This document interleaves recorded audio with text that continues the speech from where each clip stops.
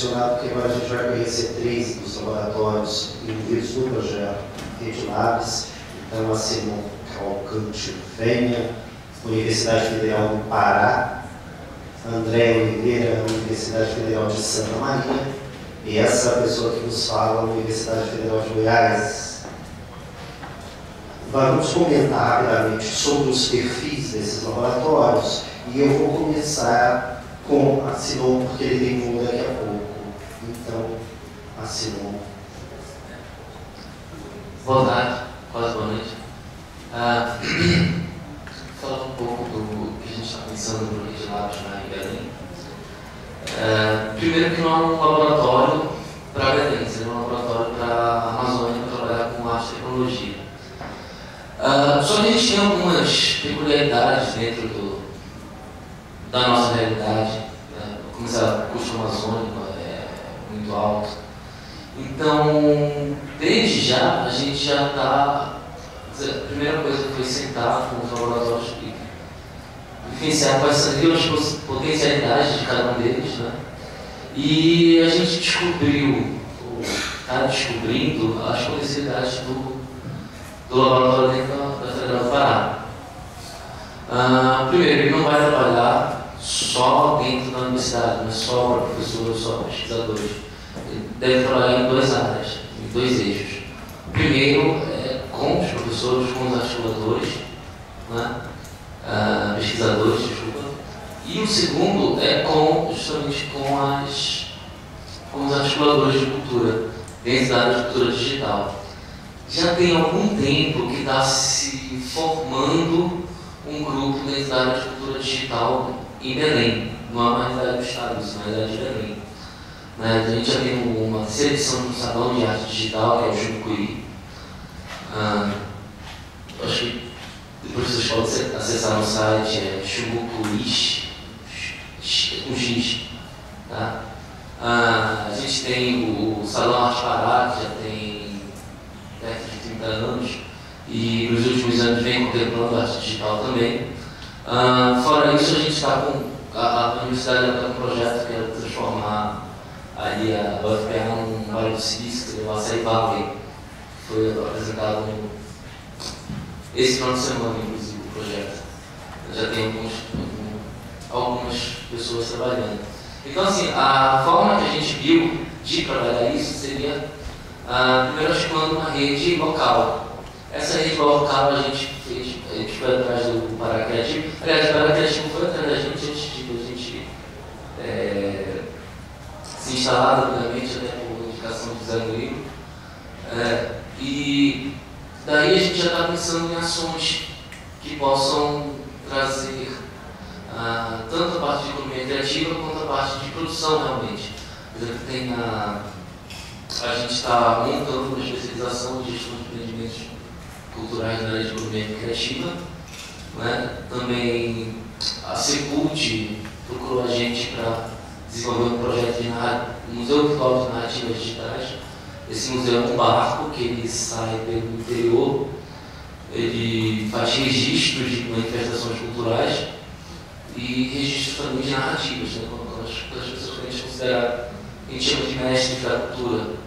São pessoas mais antigas que carregam em si a, a, a herança cultural. Então a ideia é fazer esse registro e montar um, um arquivo.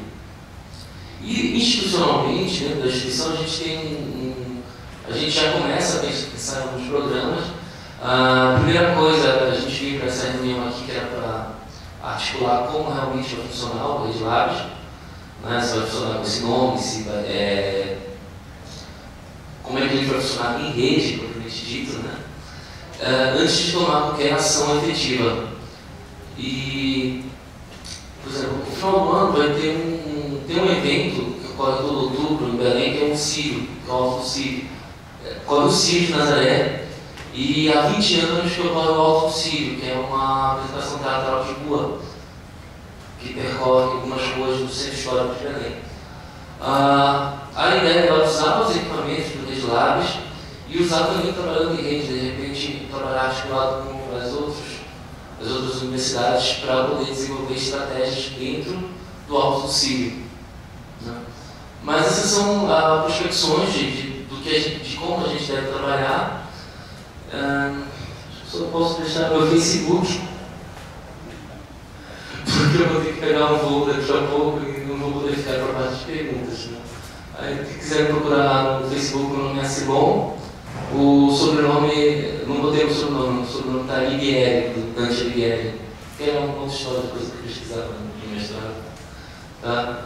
Uh, mas é, é, isso que eu posso falar no momento sobre as nossas iniciativas. Né? Quem quiser pode adicionar, a gente pode conversar por lá.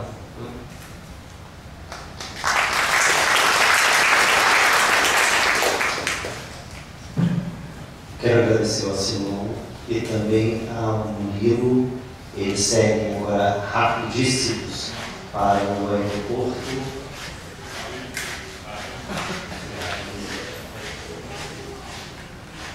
E continuam na mesa. Enfim, só. Bom, André Oliveira, Universidade Federal de Santa Maria.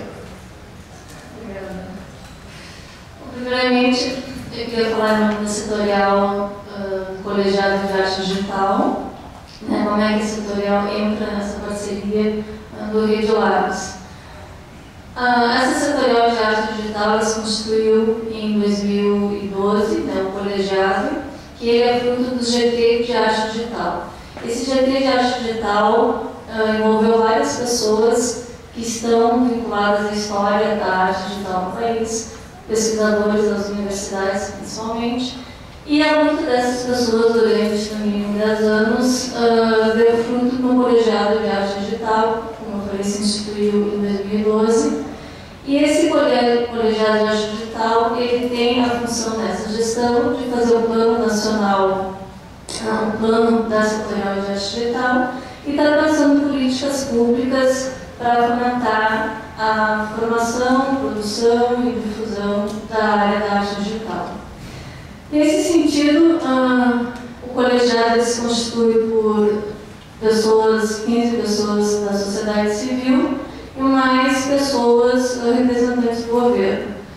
Nessa ocasião, em uma das reuniões, nós tivemos contato com o Murilo, que acabou de apresentar o trabalho da SPC, que nos comentou desses laboratórios que estavam encaixotados pelo Centro da Funarte e a setorial se colocou uh, com todo o interesse de participar e de implementar esse projeto. Na implementação desse projeto, uma das questões que, que foi colocada, que seria muito interessante que fosse nas universidades, por a gente conhecer o histórico da arte digital e saber que foram, que, uh, foram os professores de, de pós-graduação envolvidos na pesquisa que realmente constituíram esse campo da arte digital aqui no Brasil. Então, a gente entendeu que não teria sentido se começar do zero, né? teria que começar dentro dessas universidades.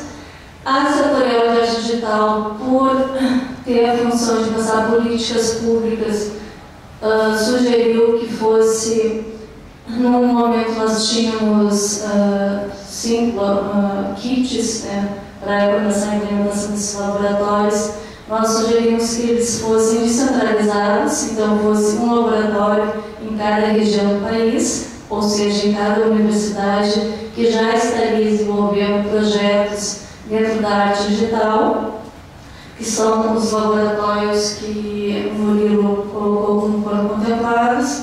Nesse momento, a região sudeste, que não tinha ainda um laboratório, está entrando com a UFRJ. Então, as cinco, uh, as cinco regiões têm seus laboratórios de arte digital. E, uh, e nós, dentro do colegiado, entendemos que essa é uma meta importante para se pensar as políticas públicas no sentido de formação e produção de arte digital no país.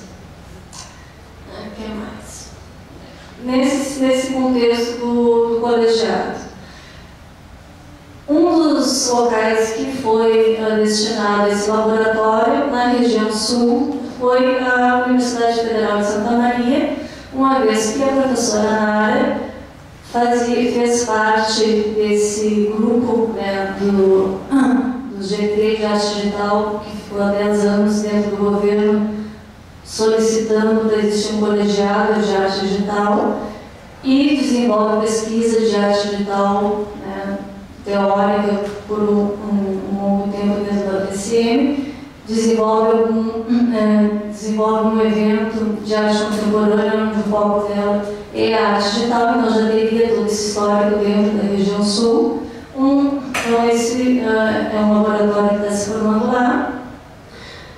E nessa parceria com a funcionária eu também faço parte do laboratório e a ideia desses laboratórios não é que são cinco laboratórios, um em cada região do país. A ideia é que é um laboratório em rede, com cinco, agora seis pontos uh, em todo o país, e se faça projetos em rede. Então, que realmente se produza, se fomente a arte digital no país de uma maneira diferenciada nesse momento e seria através desses laboratórios em rede.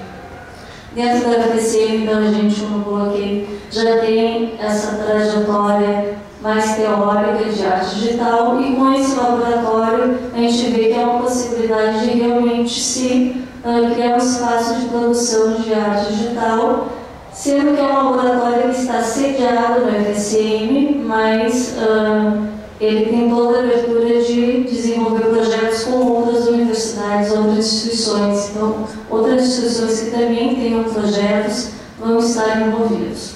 Outra questão também que esse grupo vem discutindo é que esses laboratórios então estão sediados nas universidades e tem esse histórico já da pesquisa, mas ele tem uh, um perfil também bem claro e definido da extensão. Então, todos os trabalhos, gente tem alguns momentos projetos entre os laboratórios, mas também há projetos que vão ser uh, vinculados e abertos à comunidade e projetos de extensão. Obrigado, Andréia. Agora vamos, vamos ver se eu consigo dizer o que é o MediaLab é, na verdade, o MediaLab ele é um grupo de pesquisa, um núcleo de pesquisa e um laboratório pesquisa. Ele é, portanto, três configurações específicas, sempre pesquisa, desenvolvimento e inovação em mídias interativas. Institucionalmente, na universidade, ele é um núcleo de pesquisa que a, abriga pesquisadores nos quatro programas de pós-graduação que estão passando aqui no slide, mais as pesquisas do núcleo de acessibilidade. São pesquisadores de várias instituições, de várias, vários programas de pós-graduação que uh, atenderam ao convite que fiz e nós montamos um núcleo chamado Núcleo de Pesquisa, Desenvolvimento e Inovação, Lab UFG. Esse núcleo está vinculado diretamente à Proreitoria, portanto, ele não pertence à FAV ou ao INF ou à EMAC ou à FIC, uh, ele tem a sua independência em relação a, a essas unidades e isso facilita sobremaneira algumas ações. Junto ao CNPq, ele é um grupo de pesquisa, cadastrado no Diretório de Grupo de Pesquisa, e deste grupo participam pesquisadores uh, de São Paulo, Goiânia e Bahia. De São Paulo, a nossa queridíssima Lúcia Santaella, que é a vice-líder do grupo, inclusive. Uh, nós temos cadastrado junto ao grupo de pesquisa os nossos bolsistas de iniciação científica, mestrandos, doutorandos e pós-doutorandos. Eu vou, vou até abrir o espaço para o Aloysio falar um pouquinho sobre o projeto de pós-doc dele. Este é o momento, sente aqui comigo, Aloysio, já já você fala. Todos, todos as configurações, seja no laboratório, que sai em construção e a gente tem uma expectativa de que em agosto tenhamos o prédio entregue uh, do núcleo e do grupo de pesquisa, tem uma configuração multidisciplinar enquanto equipe, interdisciplinar enquanto prática e transdisciplinar enquanto conceito. Nós temos esse arcabouço e é por isso, por um exemplo, que o professor Luiz, que tem, uh, que atua no curso de medicina veterinária da UFG, está fazendo pós-doutorado com a gente lá no Janeiro.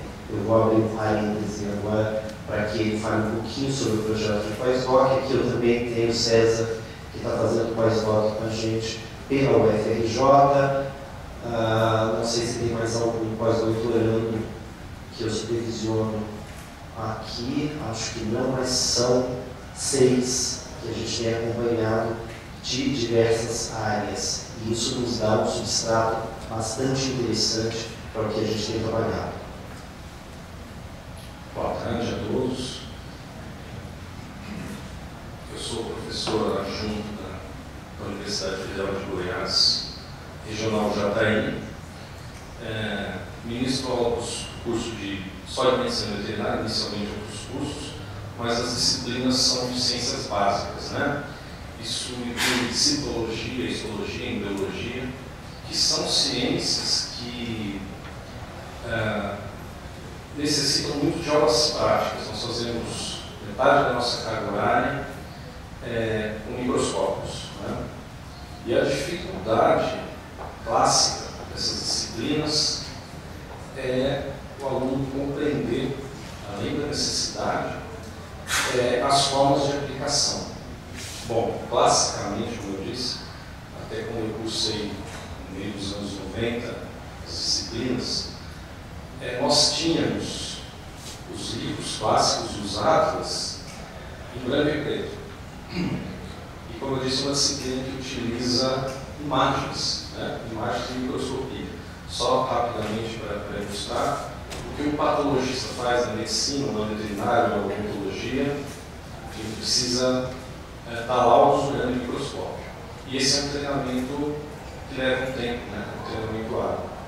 Bom, até os anos 90 nós tínhamos livros com imagens em branco e preto. Depois surgiram os livros com imagens coloridas e é, depois os atlas digitais. Então a própria FG tem um atlas digital, você tem histologia, embriologia, patologia. É, só que eu procurei com o professor Teomar que existe uma dificuldade que eu não sabia qual era, e ao longo das conversas e agora colocando em prática o que nós queremos colocar no projeto, a dificuldade está na interface. Né? Então existem os atlas e os alunos não se interessam muito por dificuldade na montagem, na confecção.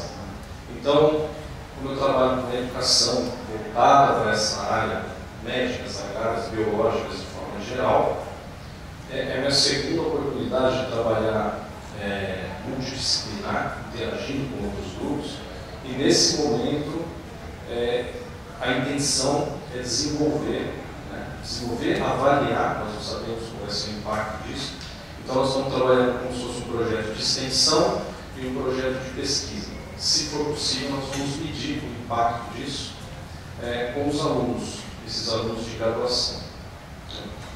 É, Para isso, nós estamos utilizando essas ferramentas né, da confecção do site, Facebook e o que mais for necessário para é, não só chamar a atenção, trazer o aluno mais próximo, mas dar alternativas de ensino. Obrigadíssimo, Lídio.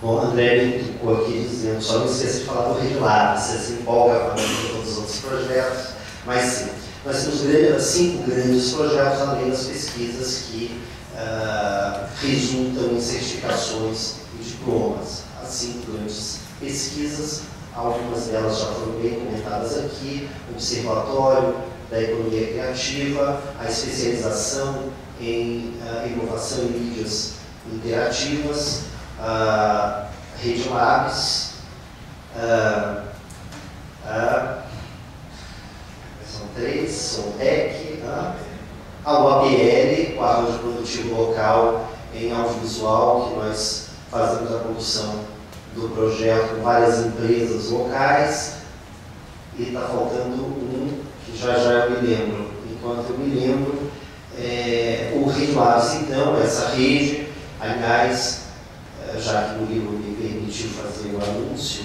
o novo grupo que integra a Rede Labs e que André já disse de onde vem, é o NANO, o Núcleo de Arte Novos Organismos, conduzido pela Manu e pelo Guto, parceiros de longa data do Cine e do Media desde o surgimento uh, aqui do nosso, do nosso projeto.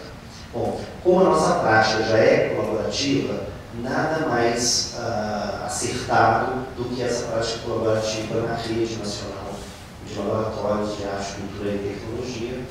É, e, nesse sentido, nosso empenho é de uh, trabalhar com esses parceiros na produção de um único projeto, usando essa rede de alta velocidade disponibilizada pela RMP. A nossa perspectiva nesse sentido é de alinhar esses laboratórios em perspectivas de desenvolvimento de trabalhos em arte tecnológica voltadas primordialmente, no nosso caso, a nossa expertise é para uh, mídias interativas.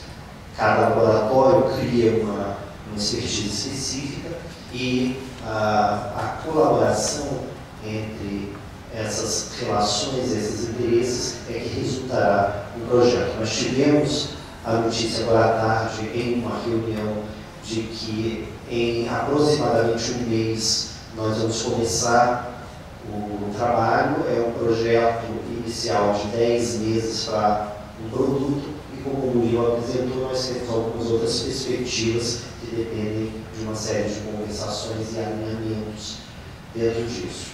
Enfim, temos essa configuração do laboratório chamado Midlab, nós recebemos pesquisadores de várias uh, instituições, temos tentado não apenas desenvolver as nossas pesquisas, mas conseguir apoio institucional para a viabilização dessas mesmas pesquisas, e a gente tem feito uma série de publicações, tanto em mídia digital quanto em mídia impressa, além de eventos como o CIMA. Em resumo, é essa a configuração do MediaLab. Acho que até consegui, né? Álvaro está por aqui ainda. Estava fora. Alguém poderia pedir para ele vir e a gente já abre a, a sessão de bate-papo. Só para esclarecer também, uh, esse projeto é um projeto piloto, né? ele tem a intenção de cumprir a meta 43 do Plano Nacional de Cultura, que é a implementação de um laboratório de arte, inovação e tecnologia em cada estado do país. Então, nós estamos realmente apostando nesse projeto para que ele possa se desdobrar e virar a meta 43. A minha memória ambulante me lembrou aqui um outro projeto que eu havia esquecido, o Núcleo de Tecnologias Assistivas, é, patrocinado pelo Ministério da Ciência, Tecnologia e Inovação. Nós temos aqui professora Lúcia Santaella, cadê as meninas com o microfone? São só meninas, né?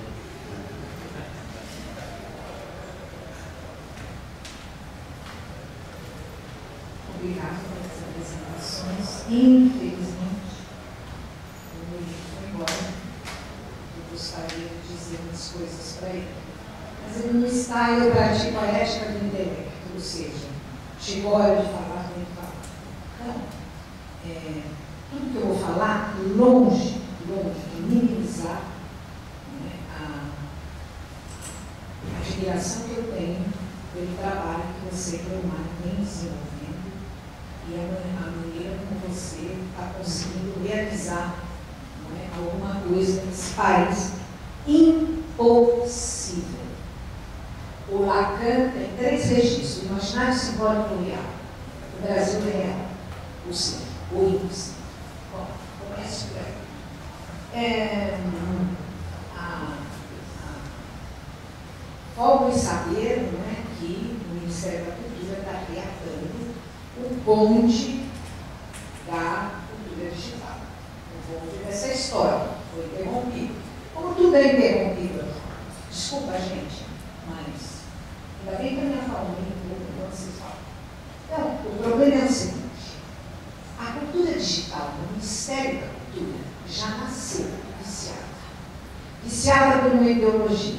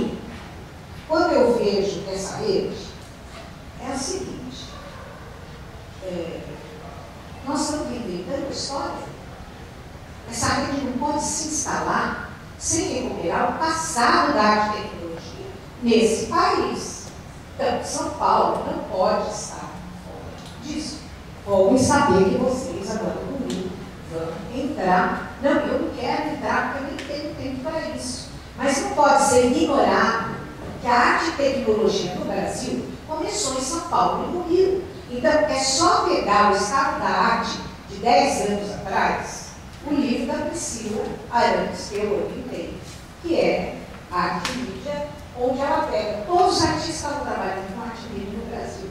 Naquela época, então, tudo decorreu depois. Bom, conclusão, o que eu quero dizer. Políticas públicas que ignoram o passado. Políticas públicas começam de novo aquilo que já foi feito. Então, eu tenho que dizer também que em São Paulo a coisa esvaziou completamente. É muito triste dizer isso, porque o Itaú Cultural ficou entregue agora a um burocrata, não é? Uma, uma dirigente que. É, é que eu falei você. Cultura não é para lei. Segundo lugar, agora a grande esperança é que o SESC vai inaugurar a, a sede deles na Vila Paulista, um prédio que estão reconstruindo inteiramente, que é o, o, o prédio da, que vai, vai tá, estar baseado em arte, corpo e tecnologia. Bom, deixa eu falar. Só para Todo país que se preza, e aqueles que saíram do buraco, tem como carro-chefe educação e cultura. O carro-chefe desse país continua sendo política. Então, eu acho tudo maravilhoso, essas, essas iniciativas são maravilhosas, mas eu não tenho mais esperança na minha faixa etária de que as coisas mudem. Ou seja, tudo isso está sendo eu não é, te dou os parabéns por esses intercâmbios, mas eu não tenho certeza aliás, teve uma dúvida profunda de que tudo isso continue no próximo governo. Eu gostaria de comentar, você, até porque quando eu soube da montagem do, Rede Naves, o meu posicionamento foi muito próximo ao que você nos expõe de uh, visitar o que está sendo feito e estabelecer vínculos entre os uh, laboratórios que já estão produzindo e têm uma participação é, importantíssima no que tem sido desenvolvido no país. E foi nesse sentido de buscar uh, ampliar que nós estamos posicionados, até insistindo uh, na vinculação do NANO, na vinculação do laboratório Media Lab da Suzete Venturelli aqui em Brasília, nas iniciativas que a gente tem de norte a sul do país, até porque eu entendo que rede já existe. Né? E nós já estamos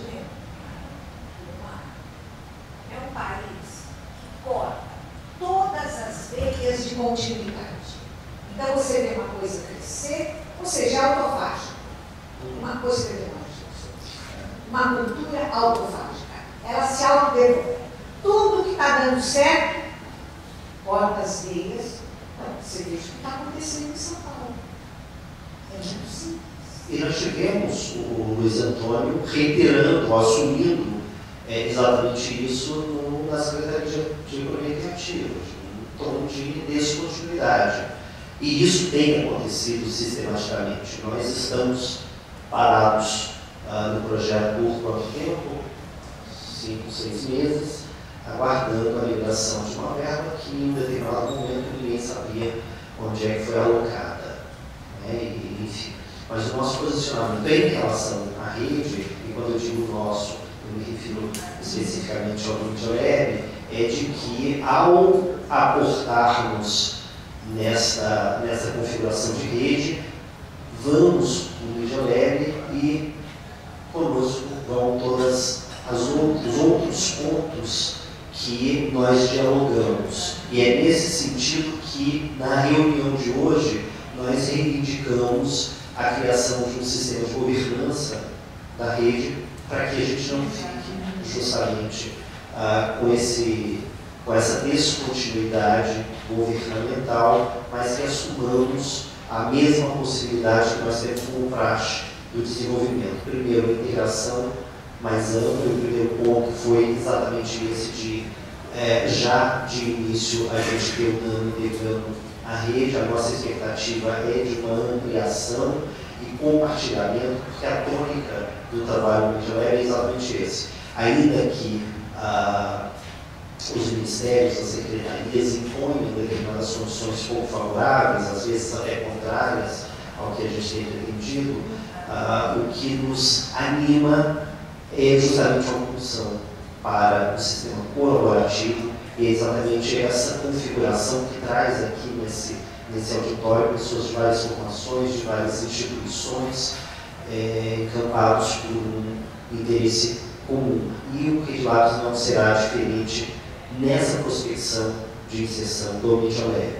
O nosso interesse é de ampliar a rede, de corrigir o que particularmente eu acho que é um equívoco, de não buscar ah, o fortalecimento de redes já existentes, é, mas acho que nós não, não devemos fugir a essa, a essa possibilidade de corrigir rumos e buscar essas referências tão caras para o nosso trabalho. Dentro disso, eu gostaria só de apontar outro trabalho que a gente tem feito com o financiamento do CNPq, que é o desenvolvimento e a disponibilização de uma timeline de arte e tecnologia no Brasil, que já conta com mais de 500, 500 obras cadastradas e disponibilizadas online para os pesquisadores. Então, o nosso trabalho tem sido exatamente isso, de resgate, de valorização, de um trabalho colaborativo, e eu convido a todos que visitem a nossa timeline e contribuam para que ela seja ampliada. Guto. Então, é, foi bacana, bom estar presente nessa na, na apresentação. Uma pena, que o Murilo não esteja presente, porque eu acho que era, eu gostaria de ouvir dele, exatamente, essa, a proposição do laboratório, para estendendo o que ele já apresentou aqui, porque para mim surgem muitas dúvidas, né? Ah, uma dúvida de conceito mesmo desse laboratório, porque é, quando fala é, rede lab, é, entra essa palavra rede, na apresentação do livro, praticamente ele está relatando que um laboratório de pesquisa acadêmica faz. Ou seja, por exemplo, de tudo que está relatado ali, é, eu posso falar que o nosso laboratório, a ideia dos Fab Labs, a integração de Labs, a produção de, de é, material né, dos seus próprios projetos, é, são um laboratório prático, teórico, enfim, tudo isso constitui já o que é um laboratório, pelo menos o ideal de um laboratório acadêmico dentro desse campo. Né? Foi, foi esse mais ou menos o objetivo da minha da parte do imaginei que eu estava coordenando um laboratório pós-doutorado, a necessidade de construir um espaço como esse para troca, para fomentar pesquisas é, verdadeiramente dentro da universidade, né? porque às vezes no âmbito teórico não se coloca a mão, não se faz. E eu falei, não, tem que ter um espaço, né? E foi daí que se do Nando, convidar a, a Malu para estar comigo né, nessa, nessa, coordenação. E é o que a gente tem feito desde 2010, assim, é, arduamente, porque lutando com recursos, lutando dentro da universidade para tentar mostrar a importância de se fazer é, desse, desse espaço de, de, pensamento, de construção. Enfim, isso tudo está dentro do, âmbito que o ano vem fazendo. Agora, a questão da rede em si, eu sempre vejo como um diferencial, porque a partir de um, um trabalho em colaboração com a Ivani, que é uma pessoa que vem aí já de longas datas pensando essa questão telemática, que convidou para participar um projeto em 2011, é, foi quando eu conheci o Álvaro. E aí fiquei tomando conhecimento de uma área, quer dizer, um, um desenvolvimento dentro, a MD trabalha com fazendo, e que caracteriza um projeto muito, específico, que é, é, é bom, o que é uma rede de alto desempenho? Né? Qualidade de serviço com um tipo de trabalho que tem transmissão 4K, 8K, esse tipo de coisa. Isso, isso tem uma especificidade. Então, o que é um laboratório que, que incorpora essa tecnologia ou essa, essa facilidade é, se não pensar nessa rede. Eu acho que, necessariamente, o pensamento sobre a rede é mais importante do que ter a rede para ativar é, conexões, conectividade. Isso a gente tem de forma precária, tá? você falou, a banda larga nesse país não existe, né? não sabe nome, não vou nem falar aqui. Mas, enfim, é, eu acho que quando a gente tem a possibilidade de pensar alguma coisa com esse suporte de rede, de desempenho e tal, implica logicamente, bom, para que a gente quer, o que a gente vai fazer com essa rede, qual é a semântica, quais são as poéticas possíveis dessa rede. Então, quando eu vi é, essa vertente nas conversas já com aula sobre a construção de laboratórios em rede, que, que foi, em princípio, é, implementado no FUNASC, equipamento do Rio e tal, nós participamos lá, inclusive, é, o projeto Liberorganes, é, eu falei, nossa, eu quero isso para a universidade, porque a gente está fazendo isso dando muro em ponta de faca. Se tem essa facilidade, se tem esse projeto, não, eu quero estar dentro disso. E foi desde então a gente começou a, pô, como é que faz, como é que a gente participa e tal. Mas essa coisa do laboratório foi se constituindo paralela. Né? Então, quer dizer, hoje eu, eu fiquei, de uma certa forma, surpreso ah, da forma como foi colocada, né? porque eu acho que tem, tem que pensar como é que essa integração, porque a distribuição dos equipamentos já, já foram feitos, questão da, da, da verba, então, então assim, eu quero participar disso. Mas o que, que é exatamente isso? Então, assim, a minha questão, infelizmente hoje não deve responder, mas eu vou colocar para vocês é, o, que, que, se, o que, que se pensa com esses equipamentos, o que, que se pensa com essa, nesse aspecto de articulação de rede, né? porque eu acho que o que, o que foi apontado ali não, não justifica a construção de identidades. É. Né? Só, só concluir. É, é, foi bacana é, o que você pontua, eu concordo plenamente, que é uma coisa que a gente discutiu há algum tempo, a questão do software livre, uma certa discussão política a esse respeito, que não pode virar também um sectarismo, um outro lado da moeda que exclui o uso dos softwares comerciais, porque, gente, nós somos uma pesquisa de arte, essencialmente. Nossa, nosso foco é, é, é, é a poética, é o que se faz com tudo isso. É, então, assim, é, a, política entra né, a economia, nas discussões anteriores a gente estava falando isso aqui, mas tem uma perspectiva artística. Eu sou um artista, essencialmente, olhando para isso tudo. Não sou engenheiro de software, não sou, é, enfim, não tenho outro segmento é, acadêmico, a não ser um artista, pesquisador, com uma, certa perspectiva sobre isso. Então, é, queria saber de vocês o que vocês imaginam qual é o primeiro passo nesse sentido para pensar a rede em si, né? essa semântica de rede.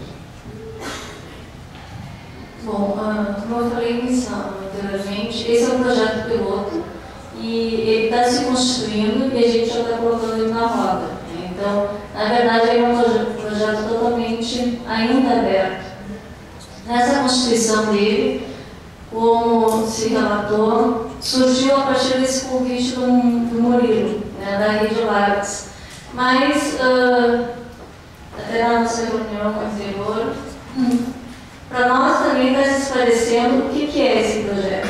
Então, por um lado, há esse projeto Rede Lages, que é da cultura digital, que já tem o seu histórico, e uh, a constituição desses laboratórios de arte, inovação e tecnologia. São duas coisas diferenciadas. Né? Num primeiro momento, pelo convite do Murilo, nos estava parecendo que o Regionalis ia abarcar esses laboratórios, mas agora está ficando bem claro que são duas ações diferenciadas.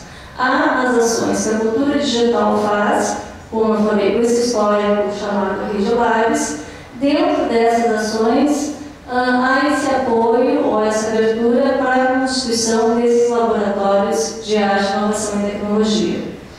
Esses laboratórios, que, que, uh, como é que ele está se constituindo? Ele está se constituindo de chamar pessoas que têm uma produção já com histórico, como a professora uh, Lúcia Santella colocou, na produção de arte e tecnologia, porque são essas pessoas que vão estar definindo como é que se constrói a rede. Não existe um modelo de rede, ninguém tem já esse plano. Então, essas pessoas que vão estar pensando que modelo de rede, que formatação, que dinâmica de rede vai dar. Esse convite, como a gente falou, uh, por parte do colegiado de arte digital, se entendeu que era importante nesse primeiro momento de ser um em cada região do país, se, se, se um dos objetivos é a fomento dessa produção de arte digital. Quando se pensou nessas regiões, se verificou dentro dessas regiões quais as pessoas que já tinham uma trajetória. Então, na região sul, claro que não são só essas pessoas, mas nesse momento eram pessoas que às vezes já tinham um vínculo com a própria eh, RNP ou tinham um perfil de ter uma pesquisa mais voltada a essa questão da rede, que é o foco inicial da constituição desses laboratórios nesse projeto piloto. Em Santa Maria, na região sul, a professora Nara já tinha toda essa história de pertencer aos GTs e estar lutando pela arte digital e se construir uh, o colegiado de arte digital. Na região Nordeste, a professora Ivani, que já tem pesquisas também com projetos em rede, com a RNP e também com outros artistas fazendo esses projetos em rede.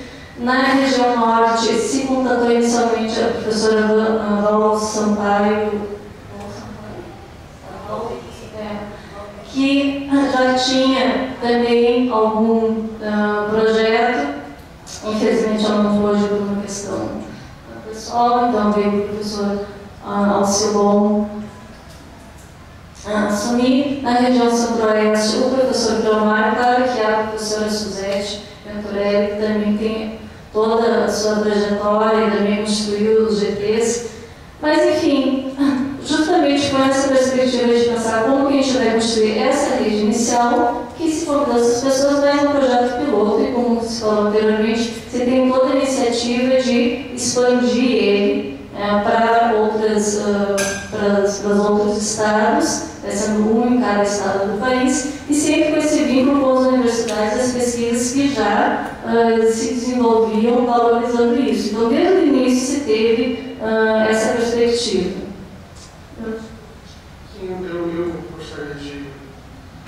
São dúvidas que, é, de alguma maneira, nós também, então, estamos desde o início da trajetória, mas, antes de tudo, é, para a professora Lúcia que é, eu, eu, eu ainda tenho é, esperança, porque a realidade nos mostra que a gente está muito melhor do que a gente já teve anteriormente. Né? Assim, a rede de ensino federal aumentou, o número de alunos atendidos aumentou, então acho que assim, ainda que a gente tenha muita dificuldade dificuldades, eu também por ter a idade que tenho, assim, eu acho que eu estou jovem, fazer 40, então acho que eu não, eu não tenho filho pequeno, então eu não posso desacreditar assim, nessa possibilidade de que as coisas avancem. Mas é aquilo, né, assim, é, a gente lida com elementos concretos da realidade. Um elemento concreto da realidade é quando a gente olha para essa relação das linguagens artísticas e as tecnologias da informação do Brasil, é que, apesar de uma longa trajetória no Brasil, que remonta desde as primeiras bienais, né, desde Valdemar, é, Cordeiro, enfim, apesar de, uma, de, um, de um trabalho, de uma participação do Brasil nesse campo muito cedo, a gente nunca conseguiu estruturar assim, políticas mais efetivas para potencializar ou para suportar isso. Ao que se deve isso? É, aí, isso, acho que quem são os integrantes, os pesquisadores e produtores desse campo podem responder muito melhor que eu. Né? Agora, é, eu como neófito, é, me parece, e eu já franqueei essa avaliação em outros momentos com os pesquisadores, que tem uma dificuldade no campo também se constituir enquanto tal. Né? Porque o processo de diálogo com o Estado demanda esses interlocutores. Né? Se a gente pega o que foi a história da institucionalização do ensino da física no Brasil, em alguns institutos, o Centro Brasileiro de Pesquisas Físicas do Rio de Janeiro, a, a introdução mesmo de uma comunidade acadêmica, você vai vendo que houve ações organizadas de uma comunidade que se pensou enquanto tal. Assim, então, me parece que não será diferente nenhum outro segmento. Né? Então, é, agora, isso é um elemento para se pensar, enfim, um debate. Acho que tem uma dificuldade, porque também, quando a gente fala de cultura também, são é, naturalmente mais difusas. Né? Quando a gente está falando da política de ciência e tecnologia, parece que a gente está falando de uma coisa muito clara, muito delimitada. Né? Assim, a gente lida com uma realidade que as estruturas, não estou dizendo que eu acho que seja assim, professora, né? mas assim, a gente tem ainda uma estrutura federal responsável por políticas públicas muito jovens, se você for comparar, quantos anos tem o CNPq? O CNPq é anterior ao Ministério da Ciência e Tecnologia. Se a gente olha o sistema de instituições de cultura do país, ela do Ministério da Cultura do Ministério de 1976, né? E que ao longo do tempo também sofreu várias mudanças. Eu acho que tudo isso contribui. Agora, é, me parece que faz sentido ter uma política específica. O que a gente tentou fazer ao longo desses últimos anos, acompanhando a comunidade de pesquisadores, foi contribuir agenciando algumas ações. Né? Eu costumo sempre fazer essa, essa piada. Nós, na RP, nós não somos servidores públicos, mas nós somos servidores públicos. Né? Então, fui atrás de pesquisadores, eu venho ao longo desses últimos anos frequentando todos os eventos que eu posso estar, tentando identificar as especificidades, porque o meu trabalho na RP é esse relacionamento com a comunidade de artes e humanidades. E aí, é, por conta dessa trajetória, de torno da RP, cinco anos aqui, eu, na minha santa ignorância, me afora dizer que eu acho que tem uma dificuldade no campo em se colocar em hospital. Né? Assim, e aí, enfim, talvez devido às suas singularidades. A gente abre o debate. Né? Assim, eu preciso ouvir vocês, mas é, quando a gente está falando da comunidade dos físicos, é uma coisa bem mais delimitada. Né?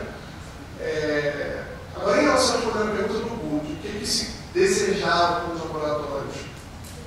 A RPA não formula a política clínica, né? É, do Ministério da Ciência e Tecnologia, do MEC, do INMIC, nós somos um órgão que implementa né, é, linhas definidas em comum acordo por esses ministérios, que em última instância são nossos donos parceiros. Né? Nesse caso específico, a gente é, começou um projeto muito aberto. Talvez esse tenha sido o equívoco. A gente aproveitou um contexto político, porque me parece também assim, tenho que lidar o tempo todo com o que está posto como elemento real. Eu estou no meio da máquina administrativa, entendeu? E essa máquina administrativa é pautada por alguns, determinada, né, dizer assim, por alguns movimentos internos e externos. Então, quando a gente começou o projeto, a gente tinha uma gestão do Ministério que queria fazer, mas estava saindo, e depois de anos discutir uma RP que precisa ter uma ação mais concreta, falou, beleza, vamos começar um trabalho em arte e tecnologia com os FUNARTs, porque a gente estava conectando os FUNARTs. Então a provocação que a gente fazia no link é, você vai deixar 10 gigabits na FUNART aí, para quê? Entendeu?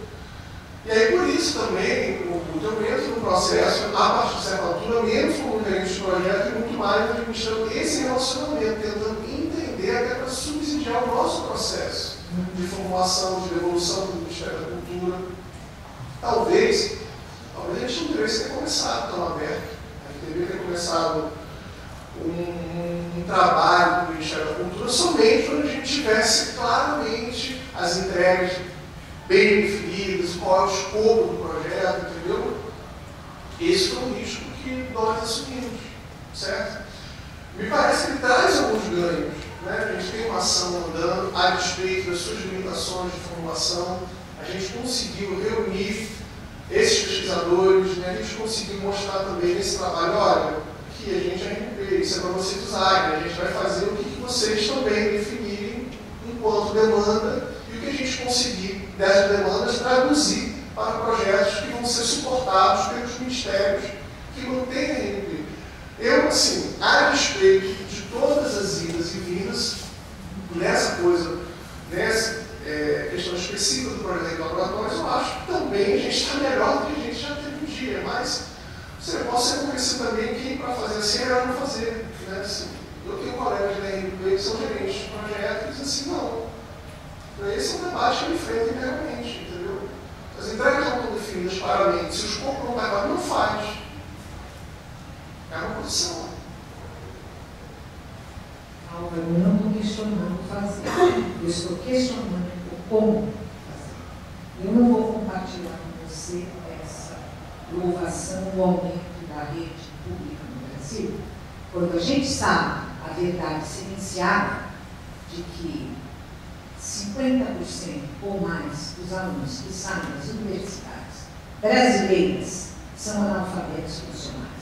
Eu vivo isso cotidianamente, no nível de mestrado, doutorado e pós-doutorado. Só, só, o seguinte, só, só, só para esclarecer onde eu estou falando, tá, professor? Porque esse não tem mais a ver assim, necessariamente com a então é uma avaliação minha tá do contexto político. A questão é a tá seguinte, eu estudei na Universidade Pública Brasileira, no momento que o Fernando Ricardo estava dizendo o seguinte, as universidades têm que encontrar seu modo de sustentabilidade.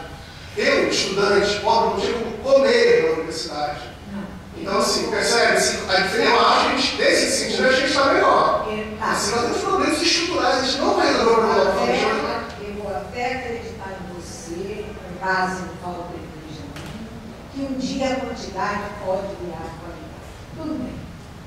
É, o leitor brasileiro continua sendo o pior leitor do mundo. E essa, os testes são feitos nas escolas públicas, são feitos nas escolas privadas, com alunos da elite. Bom, o que eu estou questionando aqui é a coerência dos critérios. Confio perfeitamente em vocês, admiro o trabalho de vocês. Eu estou questionando a coerência dos critérios para a montagem dessa rede. Ou seja, quais são os critérios para essas pessoas serem convocadas e não outras? Outra coisa que eu questiono profundamente é que qualquer rede ela deveria começar com um levantamento histórico do que se constitui como uma tradição campo dentro do país. Ah, é? Nós entregamos o Ministério da Cultura um levantamento sistemático de todos os grupos de pesquisa do país do histórico da arte e tecnologia no Brasil. Ah, é? Sim, gente passou dois anos. Você sabe que todos os nomes que vocês citaram aí vieram lá da comunicação semiótica de São Paulo? Não, Outra coisa, não. Então eu questiono seu Não, mas então, assim, eu não assim, qual, qual é o programa objetivo, professor, assim, muito francamente? É a gente não ter um ponto em São Paulo? E veja, veja. Acho um escândalo não ter um ponto em São Paulo. Mas isso Se você quer saber, é um escândalo histórico, certo? Eu não quero esse ponto para mim. Acho São Paulo, com tudo que contribuiu para essa área no Brasil, certo? Bom, isso, tem que ter. Então, eu, não, eu só posso me levantamento histórico, da tradição, das pessoas que criaram essa área dentro do país e que são ignoradas, esquecidas.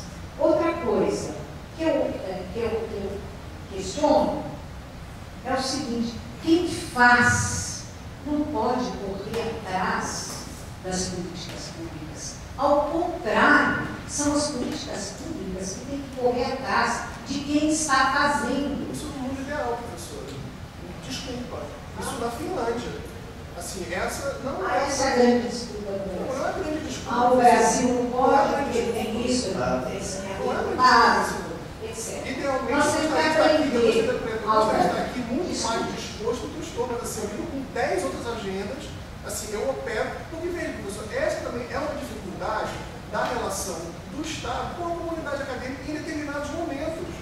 Assim, dizer, ah, assim, a gente, a, os canais de comunicação, eles já são difíceis, certo? É assim, a gente não tem mecanismos próprios, assim, nossas agências são limitadas. Então, assim, ah, é, o Estado, ele tem que, não estou dizendo correr atrás, mas, assim, se hoje, assim, é, se eu for conversar, por exemplo, com a ABCIB, a ABCIB ela não representa essa agenda aqui, só concorda? Eu concordo porque a ABCIB, ela marginalizou, eu sou da ABCIB, já saí da ABCIB, então, eu saí de todas as, de todas as instituições. Então, me ajude, se eu, se eu quiser procurar uma associação de pesquisadores que estejam circunscritos a essa agenda da relação das linguagens artísticas para as tecnologias da informação e com a gente, eu falo com quem? Porque eu estou dizendo que não existe essa associação. Olha, vou te falar uma coisa. Faltou pesquisa em vários registros. O que eu estou cobrando é uma, é uma. É a maneira como tudo se faz nesse país. São convites entre amigos e não a partir de critérios de planejamento. Nesse caso, da Deixa eu interromper só um pouquinho, porque a gente não está compartilhando, mas eu tenho pessoas inscritas que não estão tendo a oportunidade de comentar. E aí, quem tem o microfone, eu acho que deve. Eu vou fazer só a última observação, então, para poder circular. Nesse caso. Então, por favor, microfone. É Nesse caso do laboratório, nós estamos trabalhando com um projeto piloto. E assim, num determinado momento, o Ministério da Cultura estabeleceu como interlocução para tomar essas decisões um canal de participação instituído com a sociedade civil, que é o Conselho Nacional de Políticas Culturais e a Câmara de Arte Digital. Então, assim, foi esse espaço que o Ministério elegeu para tomar essa decisão. A gente pode dizer que ele é pouco representativo, a questão é que esse canal está instituído. Ainda que esse canal não estivesse instituído, sim, é, o Estado, ainda mais se trata de um projeto piloto, assim, isso é uma coisa que existe em todos os países, que está aparecendo no Brasil, num projeto tão é, embrionário, o Estado tem poder, sim, disposto na Constituição brasileira de agir discricionariamente em alguns momentos. Isso não é um atributo do Brasil só. Porque assim, se eu, assim, é, é meu orgulho do e fica ferido, cara, a gente é uma bagunça. Não é, não é verdade isso. Até porque assim, não foi discricionário, não foi discricionário porque foi feito conselho. Mas ainda que fosse, considerando, isso é previsto. Isso é previsto. Bom, eu quero concordar primeiro com o questionamento sobre os critérios. Foi um dos, o, o Mijolec foi o último dos cinco a ser integrado à rede e justamente o primeiro questionamento que foi feito foi acerca dos critérios.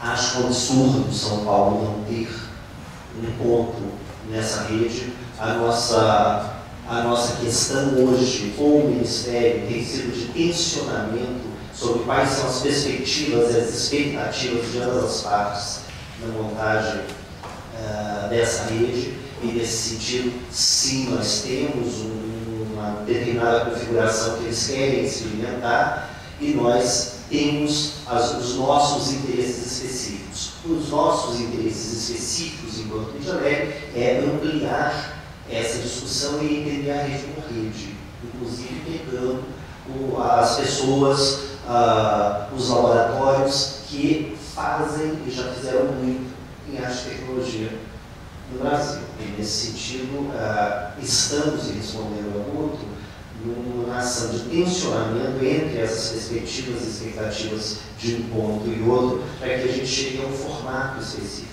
Então, o desenho não está completo, acho que é muito oportuna a chegada do ano nesse momento, porque nos ajuda a tensionar e a buscar esses parâmetros específicos e uma defesa particular de ampliação da rede, assumindo uma prerrogativa de governança uh, própria da rede com os pontos que o constituem.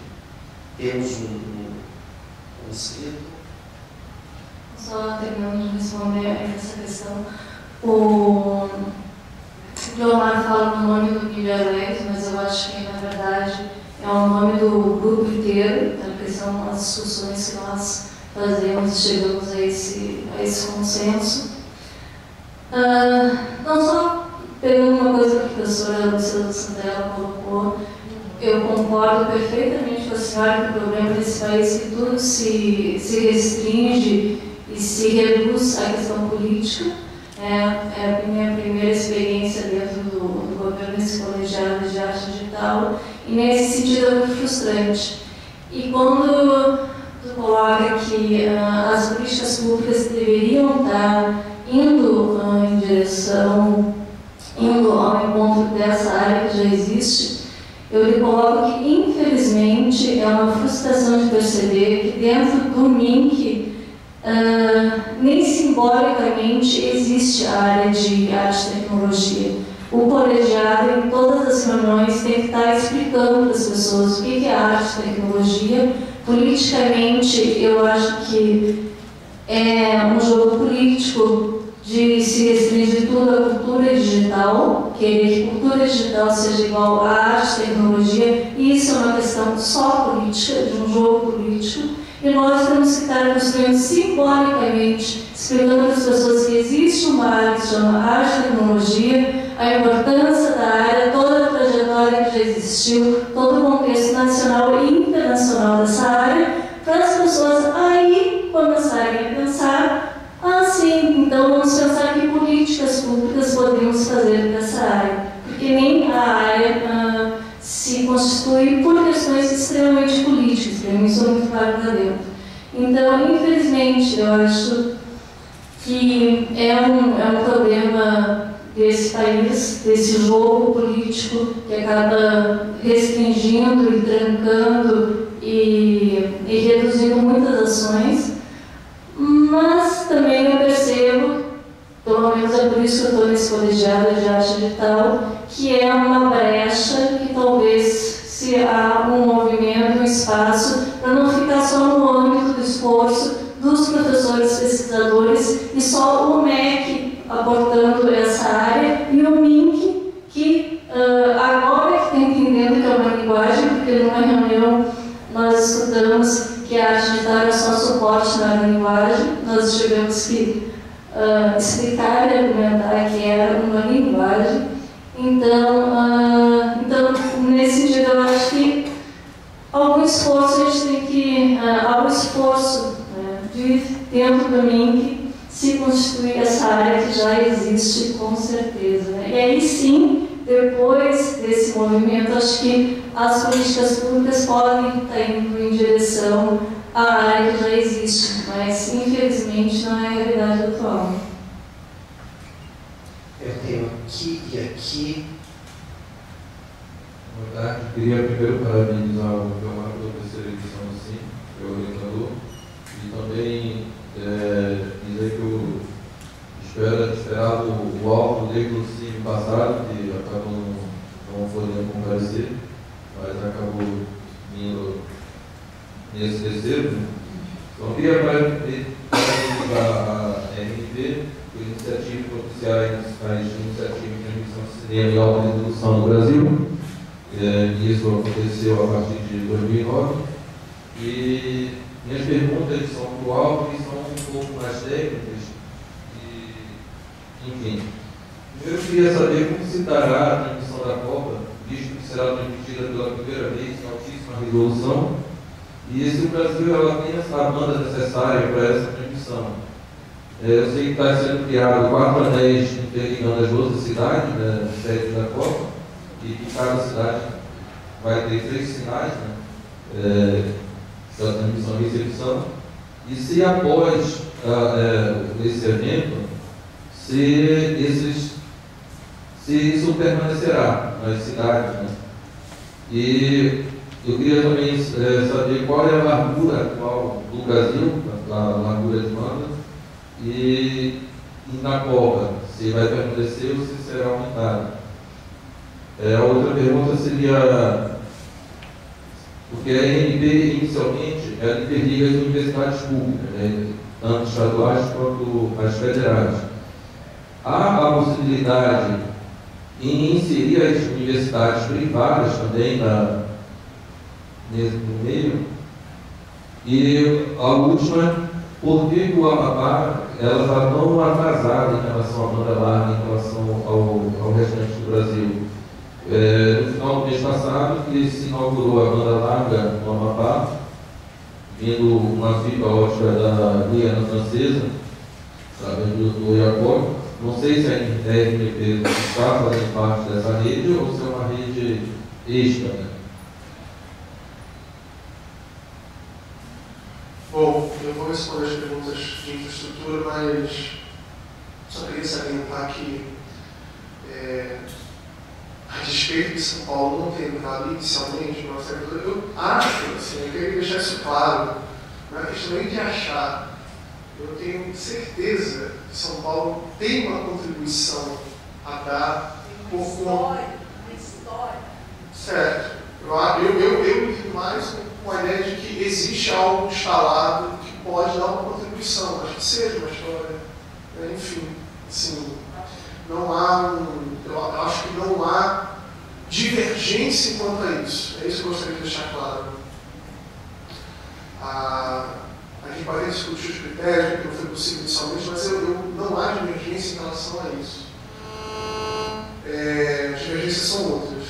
É, em relação à infraestrutura para a Copa, a RNP não é a operadora de telecom privada ou não é Telebrás. Então, prover a infraestrutura para a transmissão dos jogos é algo que está, até onde eu me recordo, na responsabilidade da Telebrás. Nós temos algumas parcerias para fazer eventos experimentais de transmissão envolvendo a demonstração de visualização avançada. A gente desenvolveu aplicações para transmissões de conteúdos em NK, 2K, 4K, 8K, NK. Estamos, estamos utilizando isso na telemedicina.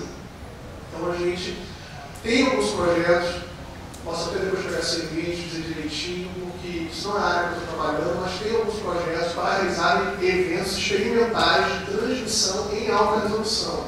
Certo?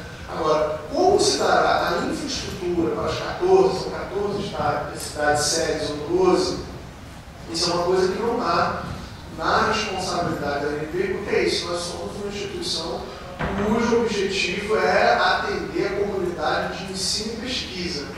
Então isso é importante deixar claro, nós não somos um operador de telecom, assim, as pessoas olham para a gente, ah, você tem rede, né? Não é isso. A gente opera serviços especiais para uma comunidade de pesquisa, certo? Em relação ao Amapá, essa é uma boa pergunta. Aliás, é um bom dado. É, eu acho que pode, assim, bom, já falei demais, né? então, assim,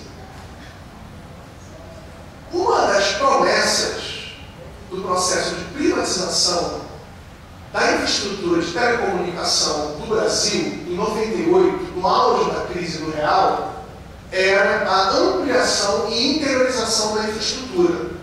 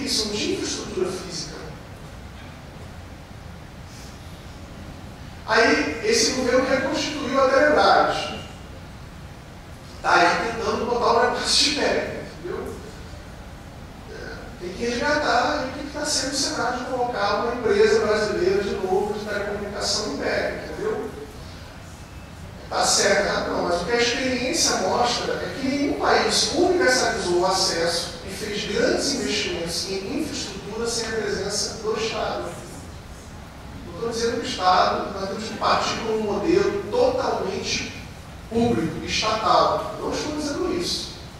Mas um modelo misto foi o que a história nos mostrou. Nenhum Estado ampliou, nenhum país ampliou o acesso sem contar com algum tipo de empresa pública ou mista que assumisse o ônus dos custos de lançar essa infraestrutura. Estamos falando de grandes infraestruturas, de grandes redes, né? foi assim que já Rondon. Esse é o dado real. Vamos a uma última questão.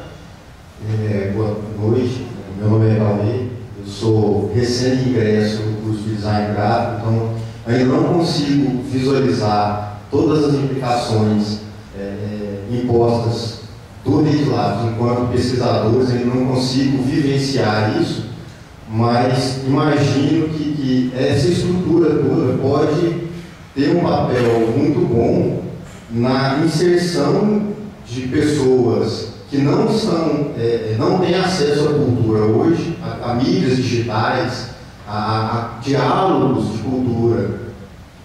E eu queria saber se tem algum, algo já pensado é, nesse sentido, em extrapolar os limites da universidade, no sentido de criar novos consumidores de cultura e de ampliar a capacidade de produção de, de produtores independentes ou produtores da sociedade civil que ainda não têm é, formação acadêmica, não têm acesso à academia. Tá, eu vou comentar rapidamente. primeiro, a constituição da rede ela é entre os laboratórios, então a estrutura ela não extrapola é, esse contexto.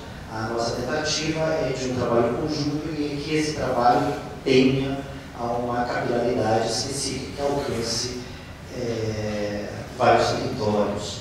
De outro, de outro lado, além de um projeto coletivo, nós acordamos entre os integrantes desse projeto inicial da Rede Labs de que uh, os laboratórios, eles necessariamente atenderiam a demandas locais, de modo que uh, fazedores podem procurar e propor o uso dessa rede para a realização de trabalhos com gente, E de outra ordem, nós também temos um compromisso de trabalhar com extensão, o que, claro, a gente já vem fazendo o tempo inteiro, faz parte de nosso trabalho. Então, não é um trabalho intramuros, embora a estrutura física é, da, da largura de banda ela é forçosamente em função do que existe.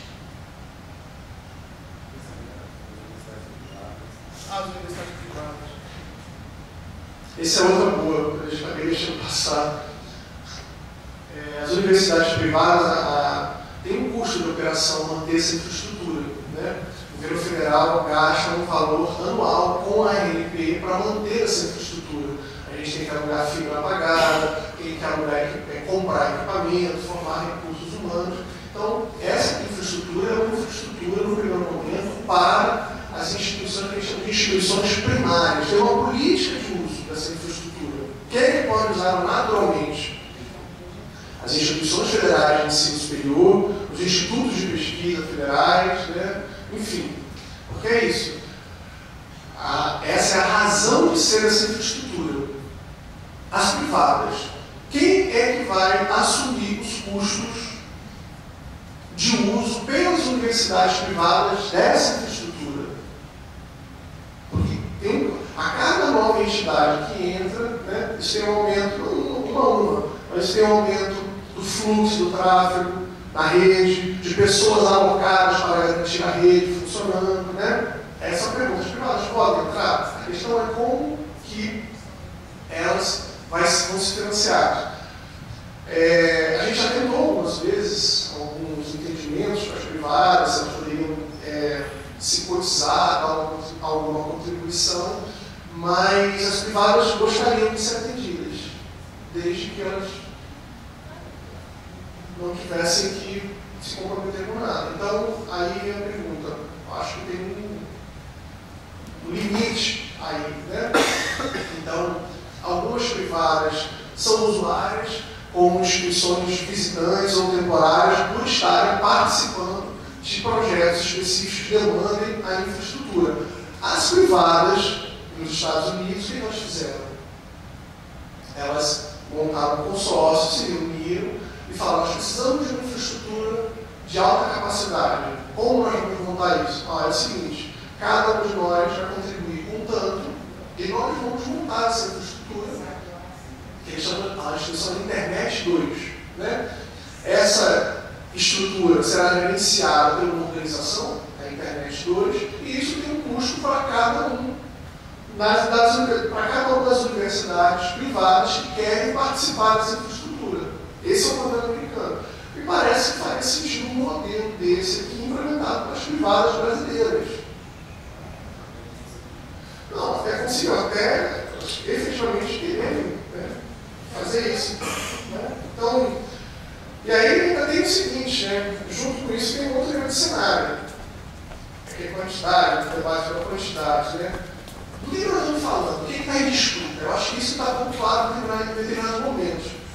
Em alguns estados brasileiros, se as universidades públicas conseguirem gastar todos os recursos previstos para ampliação das universidades públicas, acabou de ser privado.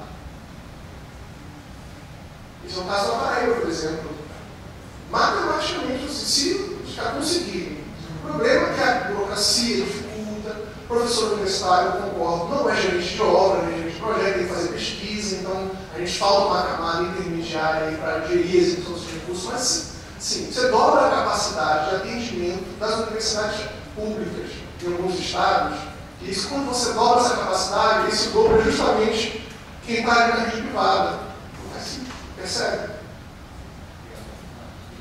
Nosso muito obrigado ao Álvaro Margucci, Andréia Oliveira e a Cleomar Rocha.